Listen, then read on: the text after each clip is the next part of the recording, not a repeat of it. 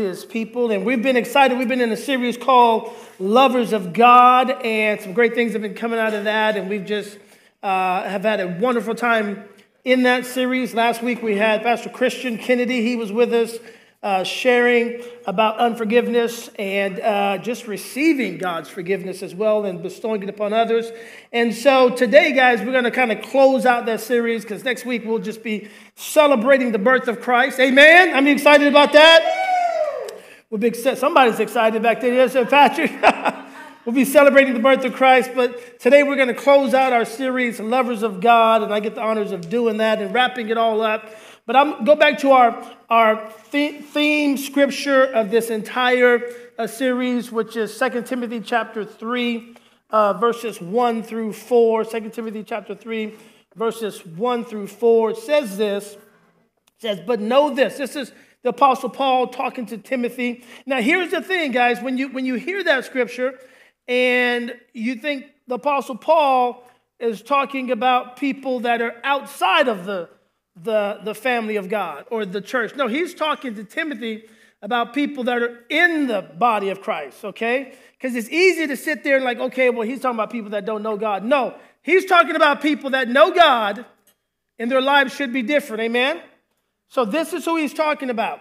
So don't exclude yourself, like, okay, well, he's not talking about me. No, this is where we all have that thing called humanity on the inside of us and we can err, but thanks be to God that we can go back to God and get back on the right path. 2 Timothy chapter 3, Paul is telling Timothy, but know this, that in the last days perilous times will come, for men will be lovers of themselves, lovers of money, boasters, proud, blasphemers, disobedient to parents, unthankful, unholy, unloving, unforgiving.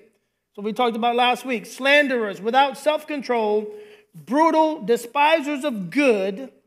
They will be traitors, headstrong, haughty, lovers of pleasure rather than lovers of God. Give me a hand clap for reading all that scripture, because that's a lot, of scripture to stay on point, to not lose my place. So that takes some effort. So I want to I want to zero in on uh, one of these words, and we'll kind of wrap it all up. But don't don't kind of tune me out. This is not a negative message. This is a challenging message where God challenges us uh, on a daily basis. So I want to go to verse 4 where it says, They will be traitors. Everybody say traitors. traitors. Not Trader Joe's, but traitors. Everybody immediately thought about Trader Joe's. I know you did. You thought about, man, I got to check the sales for Trader Joe's and get my Christmas goodies. And I know you guys. He said they will be traitors. So immediately I went and I looked up that definition, the word traitor. And if y'all taking notes, I encourage you to do so, or just make a note in your phone where you can go back and really dive into this later on. But a traitor is one who betrays another's trust or is false to an obligation or duty. Everybody say obligation. obligation. Now, when you hear that word obligation, does that come with a positive feeling or a negative feeling? Usually the negative feeling, obligation. Because nobody wants to feel what?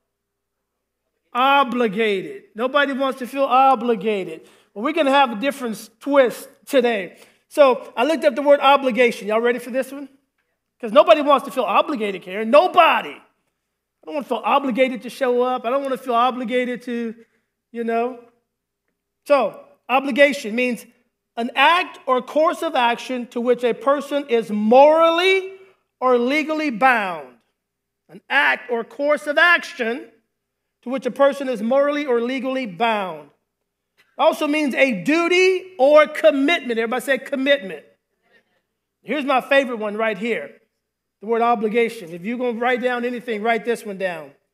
It means a debt of gratitude for a service or favor. Everybody say debt.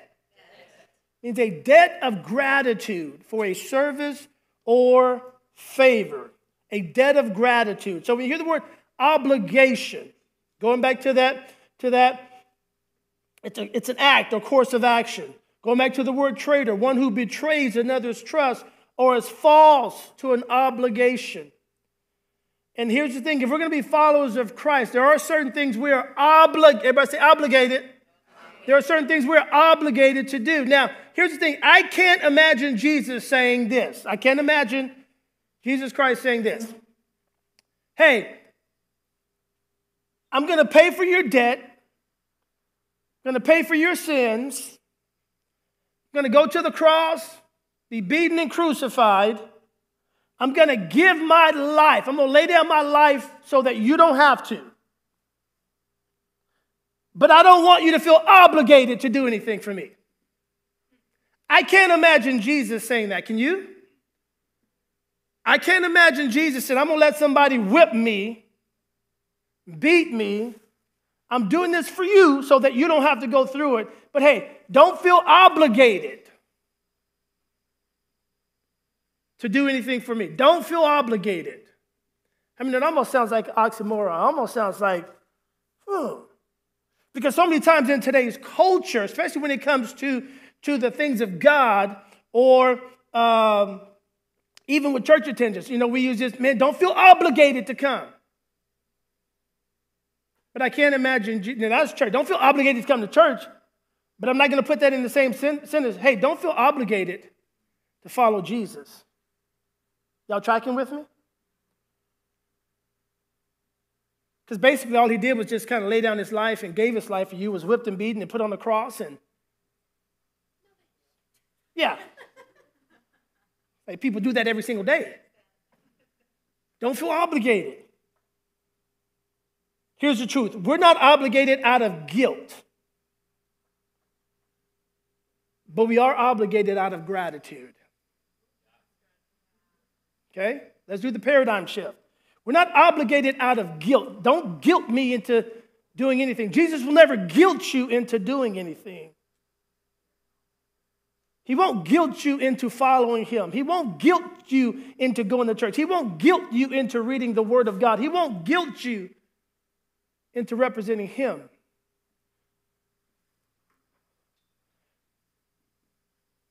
But if there's a gratitude that comes from him laying down his life, the gratitude will obligate you. Does that make sense?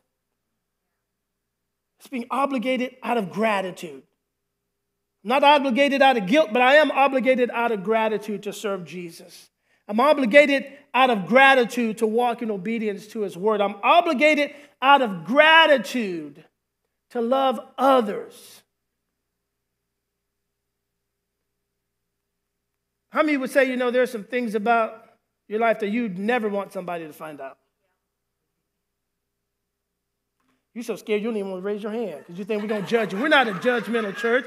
Nobody's going to judge you. Everybody's looking at one another like, I know they should be raising their hand, and I, they, how they, they're lying right now. They,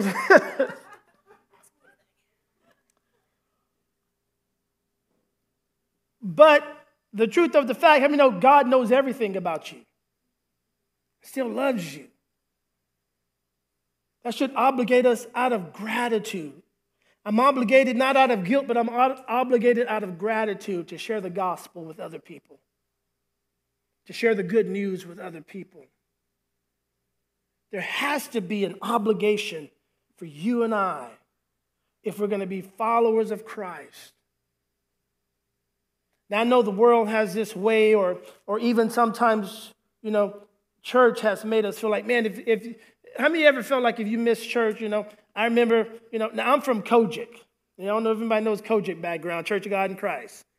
Y- y'all think three services a month is tough. No, no, y'all ain't see, I got you beat. COGIC. We went to church Sunday morning, Sunday night, then Tuesday night,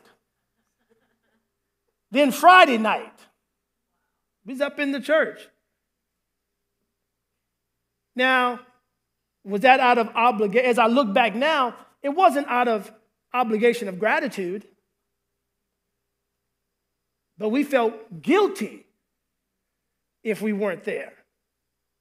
At least mama did. She made me go. I'm just saying. Mama, it's okay if we miss one service. But there was this, this feeling of guilt. I mean, no, that's not God. Jesus will never guilt you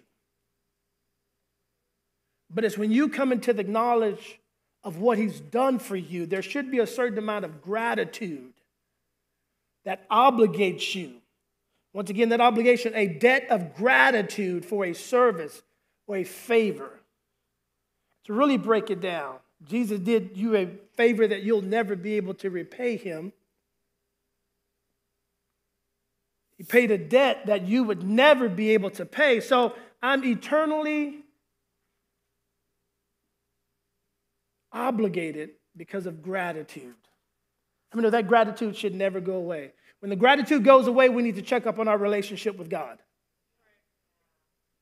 When we quit showing gratitude, when we wake up and we're not thankful and we don't have gratitude, then we really need to check up on our relationship, on our closeness with Jesus. Amen or ouch? I still love you. Y'all mad at me? I don't care. No, I'm just joking. We're not obligated out of guilt, but out of gratitude. Don't get it twisted. Listen, don't, don't, sometimes I think we, we can get stuff twisted and, and it's, you, you ever hear people say, well, you know, Jesus knows me, he understands me. And sometimes we try to give ourselves a license to live how we want to, not how we should, according to the Word of God. And the truth of it is, I mean, know Jesus does know you, understands you, but it doesn't exempt you from letting the Word of God transform you into who God wants you to be. Came across this scripture here, I think it's fitting, 1 Timothy chapter 4, because we have to be careful, guys. We, we can't fall into the cliches, we can't, we can't fall into a trap. Some people, I think, hit this moment and they would even go so far as to justify their non commitment to Jesus by saying, you know what, I can, Jesus understands me. I talk to him, you know, on my own, or I do this. And it's not so much as you're trying to guilt people to being in a body of believers, but I believe this. I believe we can, we can start hearing from other people and we can sit there and say, okay, well, yeah, you know, that person's right. I don't, I don't have to, I don't have to do anything. I can just, you know, I can just sit here on my back porch and I can, I can have a, a fabulous relationship with Jesus. Doesn't require me to do anything and I don't have to go outside my house. I just, I mean, no, that's not truthful. Because if you've got a relationship with Jesus, it's going to require a lot from you. You're going to have to do something. You're going to, you're, it's obligation. Going back to this, an act or course of action. It's a debt of gratitude for a service or favor. So if I'm in relationship with Jesus, it does require me to represent him. It requires me to help other people. It requires me to be a disciple, a Christ follower. And being a Christ follower doesn't look like it's just me and my four no more. God, if you just take care of me and my family, that's it. No, no, no. We've got to get outside the four walls. Amen? And we've got to go that extra mile. But don't don't sit there and take on anybody else's doctrine. Listen, 1 Timothy chapter 4 says, The Spirit clearly says that in latter times,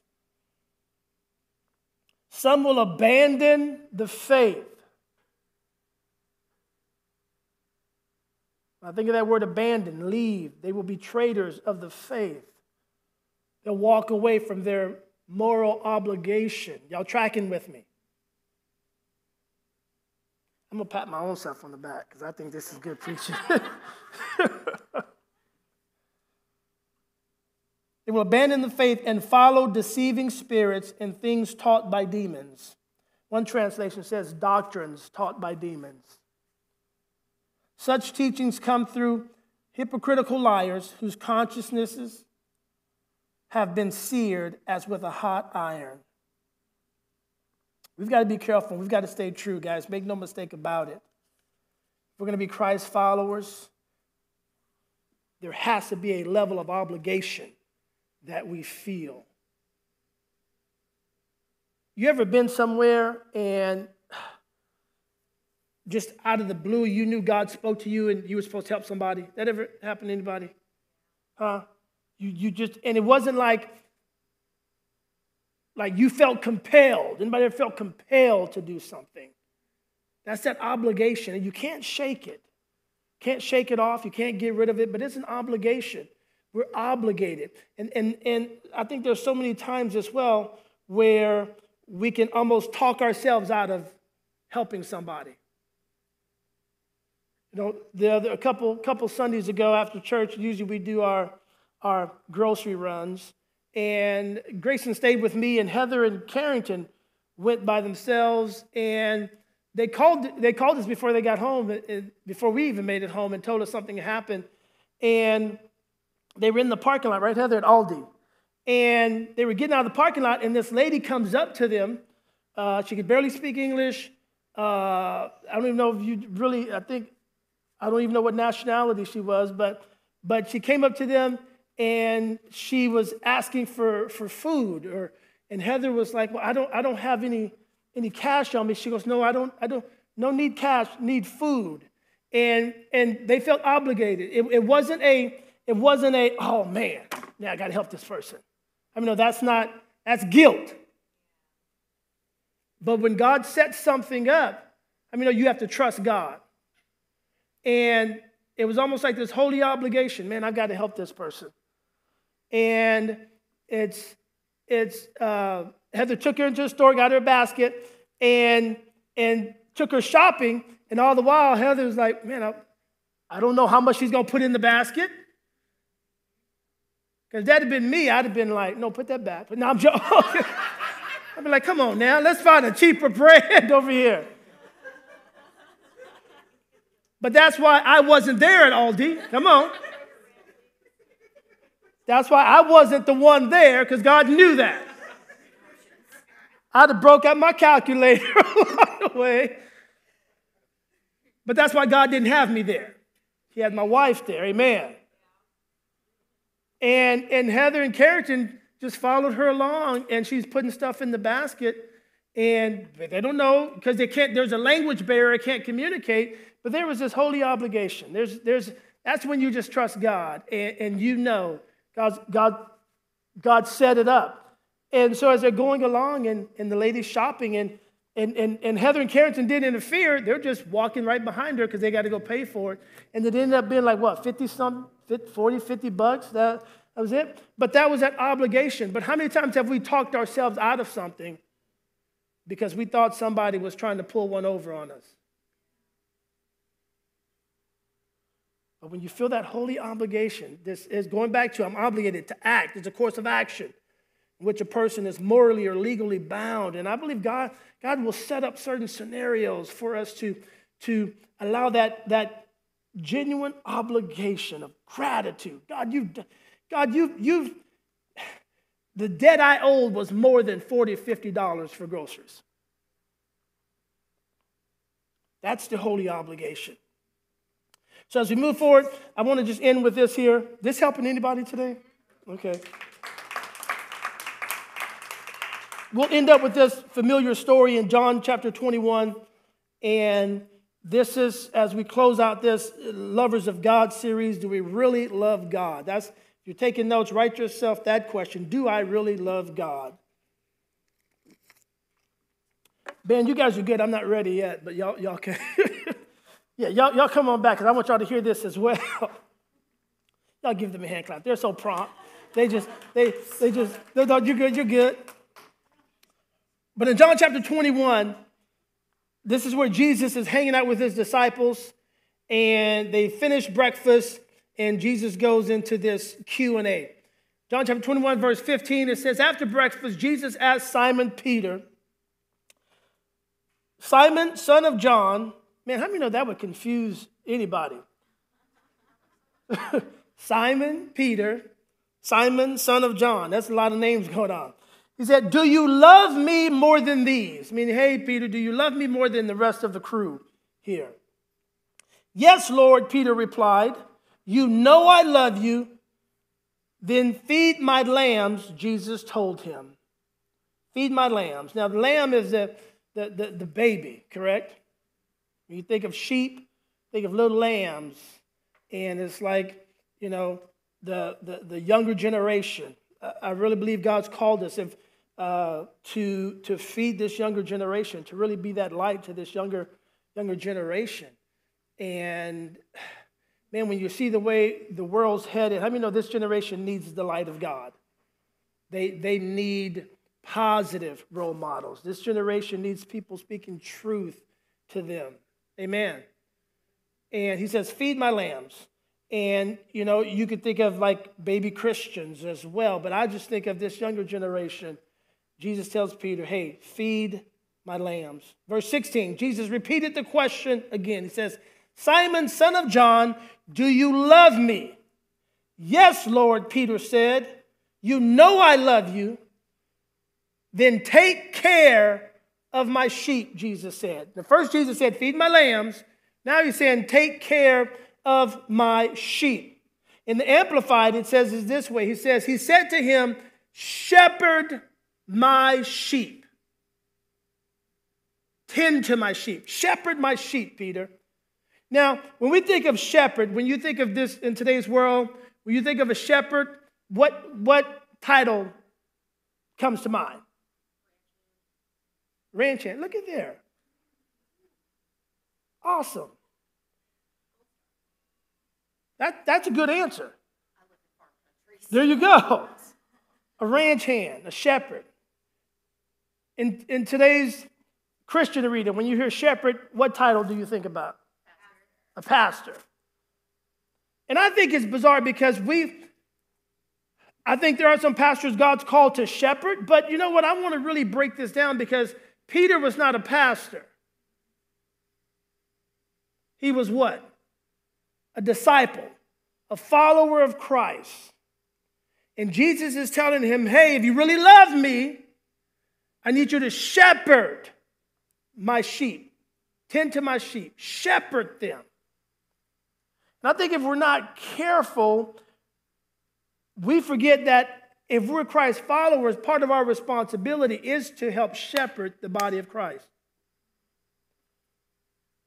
But culture has taught us to put it on one man that's on stage who has the title of a pastor. Y'all tracking with me? That's what, that's what Christian culture has taught us. It's the pastor's job to shepherd the entire flock. And we wonder why so many pastors get stressed out. We wonder why so many pastors get, get to the point of taking their own lives. How many know that's a tragedy? Get overburdened. But the real truth of it is, Peter was not a pastor, and Jesus said, Hey, I need you to shepherd my sheep, tend to my sheep. And once again, if we're going to follow Christ, I believe this is this is, we're all obligated, not out of guilt, but out of what? Gratitude. Somebody's listening. Gratitude. I love the answer when I said, when you think of shepherd, what do you think about? She said, a, a ranch hand. This is just somebody that's on the, on the farm. Without title or position. I don't think Jesus is into titles. He's in the towels, in the servants. And if we're going to follow him, we've, we, have got to all have that obligation. God, how can I shepherd? How can I shepherd people that I work with? How can I shepherd others in my community? How can I shepherd people that I come in contact with on a daily basis? How can I be that shepherd? How can I? And, and when you think of shepherd, it's it's it's you ever heard the Jesus left the 99 for the for the one?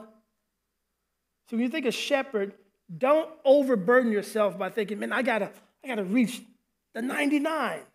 No, oftentimes it's that one person that God is calling you to shepherd. Just that one person that God's calling you to be that shepherd for. And it's not so much as like, hey, I just got to get them through the doors of the church and then I've done my job. No, you are the church. Let them experience you and your lifestyle. Be that shepherd, be that light.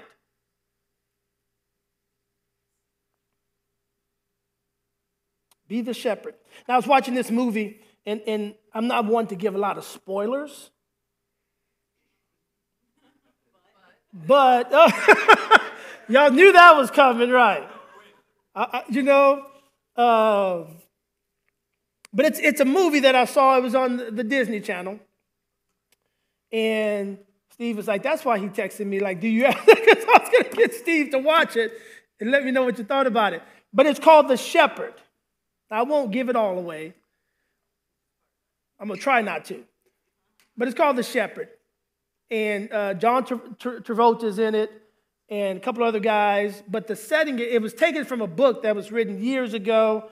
Uh, I think it's based upon uh, a book by an author by the name of Frederick Forsyth. So you can look it up later, but it's called The Shepherd. And anyway, this movie, I'll just give it like a recap of it. There's this, they're, on, they're in Germany. They're on a, uh, a naval air force base in Germany. And one of the pilots wants to fly home for Christmas, Rick. He's like, he's like, man, if you know, he calls his, his mom and like, hey, I'm not gonna be able to make it. And uh, the other cadets are out there doing a snowball fight, and the guy who was gonna use the plane broke his arm in a snowball fight. Go figure. And so the pilot's like, hey, I think I got, I think I can go ask if I can use the plane to fly home.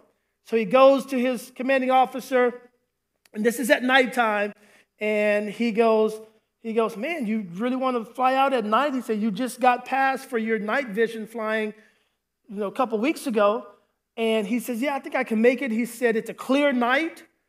Uh, the, the skies are clear. And he said, It's just flying in a straight direction, and I'll be home within an hour. And so they go through all the, the logistics. They give him the green light.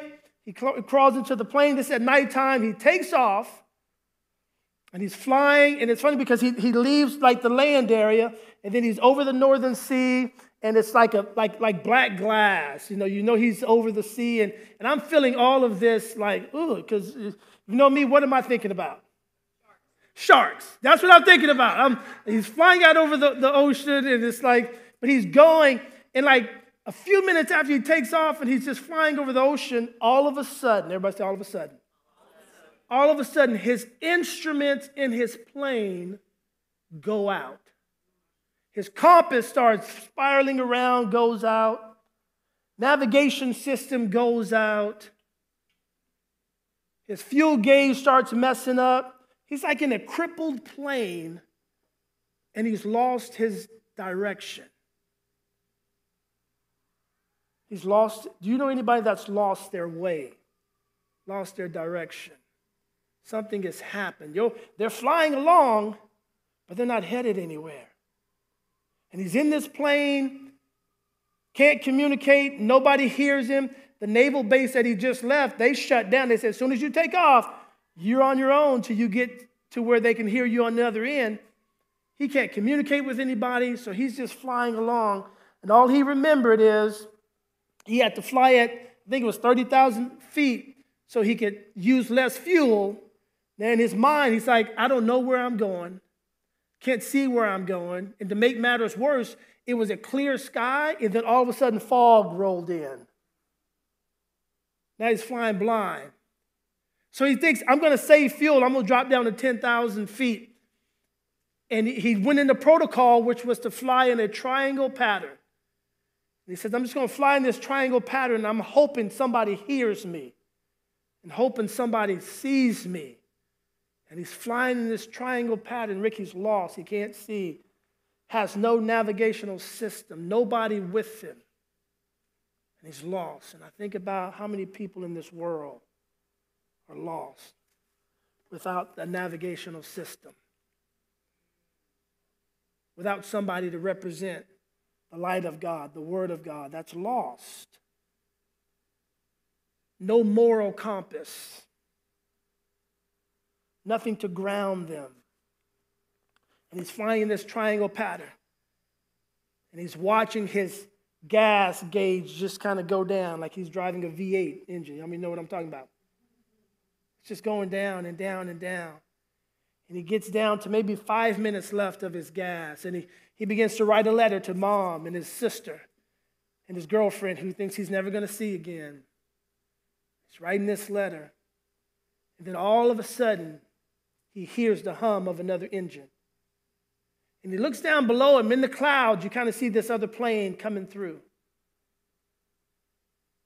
As this other plane is coming through, finally, you start hearing some static in the radio, and he picks up, and, and, and they're, they're able to communicate just a little bit to where the guy in the other plane can hear him, but, but he can't hear the guy in the other plane. And so they finally make contact, and, and this guy is asking him, the first thing he asks him, he goes, he goes, Do you have any structural damage to your plane as they're flying? And finally, they're able to communicate. He says, Use sign language. And he holds up a map and he goes, I don't. And he figures out he doesn't have any, any, any instruments that are working in his plane. And he tells him, Then what I need you to do, he said, Do you have any fuel left? He said, I think I got about, about three minutes of fuel. And he says, Three minutes? And the guy's like, Hey, I just need you to get behind me and follow me down. As he pulls in, he gets behind him and follows him down. I'm kind of giving away the whole darn movie, am I? That's all right. It's just going to drive. I've watched it like three times, so it'll just drive you to watch it. So he follows him down, and he gets him down there, and he says, in a few minutes, you'll probably see some runway lights, and then, and as they go down further, it's like all the clouds come in, and so you can't see nothing, and the guy's by himself again, and he sees some runway lights, and he goes down and he parks on the runway. So he's safe again. He makes it to safety. And this guy comes in this car and picks him up. And he's at this old military base that has been shut down for years. And the guy picks him up and takes him back to the bunkhouse. And this old, dilapidated house falling apart. And he gets him in there. He goes, he goes, We've been non-operational for years. We're almost we're just a storage depot right now. And he takes him into the bunkhouse, starts a fire for him, and the young pilot is just so glad to be alive. He's walking around and he's looking at some pictures and he's looking at all these, these names on the wall of these young pilots that were, had lost their lives in the war. And he comes across this picture that's on the mantle. He said, Hey, who is that? He tells him who that pilot was, and he goes, he said, that, he said that pilot, I'm not going to tell you his name. See, I'm not going to tell you everything.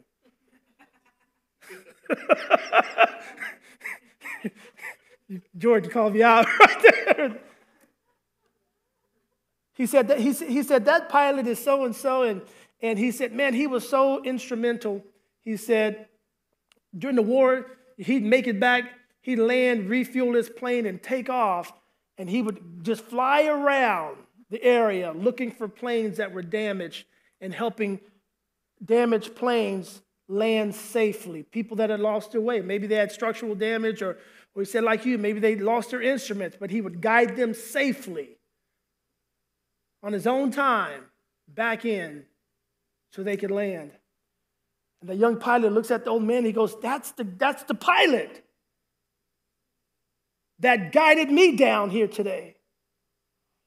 And the old man says, Well, it couldn't have been. He said that that pilot took off Christmas Eve to this day, 14 years ago, to travel around to see if he could find any planes that were in the air that needed guiding back home. And he never returned. Lost his life in the northern sea. And at that moment, the guy's here, the guy hears another car pull up. As he comes to that car, there's two guys from a nearby base that said, Hey, we saw your plane land and we figured you need some help because this place has been closed for years. And he goes, No, the guy just, when he turned around, nobody was there. So you know now, Pastor Don, you're telling ghost stories. No.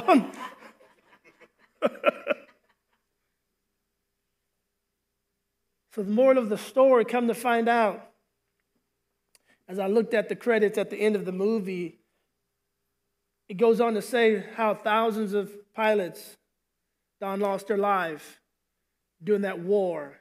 It said many more would have lost their life if it hadn't have been for certain pilots that were called shepherds that would make it back to safety, refuel their planes, and on their own accord fly back into the air, looking, listening for distress signals of other pilots that could barely see their way and make it back in. And they would guide them back into safety. They were called shepherds. I thought about you and I as we're Christ followers, guys. I believe we're all called to shepherd. First thing this pilot would ask people hey, do you have any structural damage? In layman's terms, that's you and I. Hey, is everything going okay today? Y'all with me? When you find out people are hurting, damaged, and wounded, how many know you rub shoulders with people every single day that are going through something? They may not share it, but they're going through something. But it's God's calling us not out of obligation of guilt, but out of obligation of gratitude. God, you helped me when I was hurting. God, you delivered me when I was going through something. God, you made a way for me when I couldn't see a way. I'm morally obligated out of gratitude to refuel my plane, get back in the air, and look for people that need help coming home. Amen? That need help coming home. We invite the band back up. We're going to get ready to close in just a few seconds here.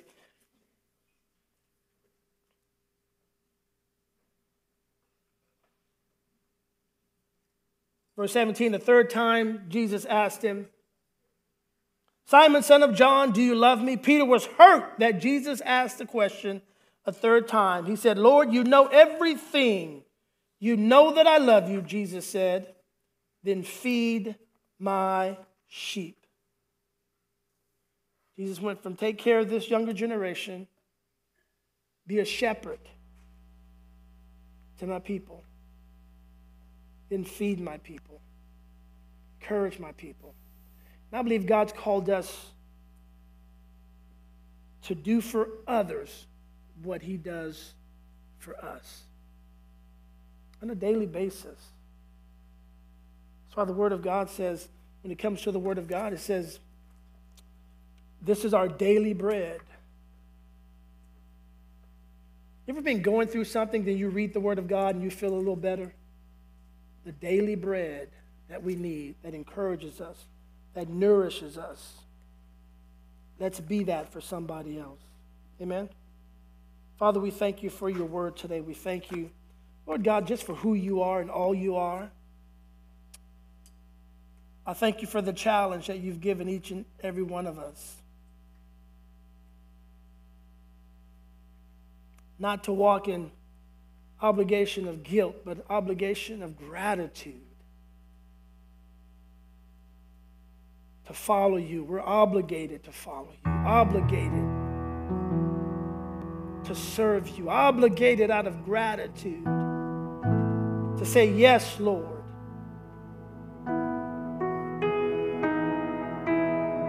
Even when it's outside of our comfort zone, we say, Yes, Lord, because we're obligated. Even when it doesn't make sense, Father, may we be obligated out of gratitude to still say yes to your will and your way. Thank you, Lord, for the great love you've given each and every one of us in this room, those that are watching online, you've loved us with an everlasting love.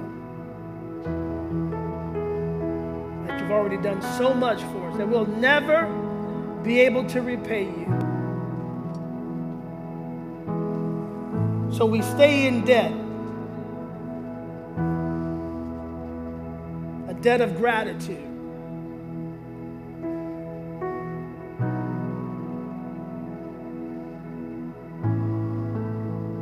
Thank you, Lord. Father, we thank you that even as we enter into this moment of worship, Lord God, may the words that you've spoken to us today, may we, may we ponder on them. May we, may we go home and go back through them and just meditate upon it, Lord God. And Father, as we as we consume it, Lord God, may it May it come alive in our actions.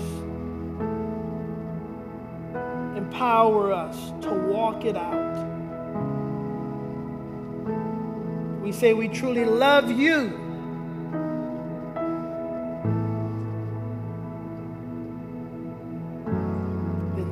actions.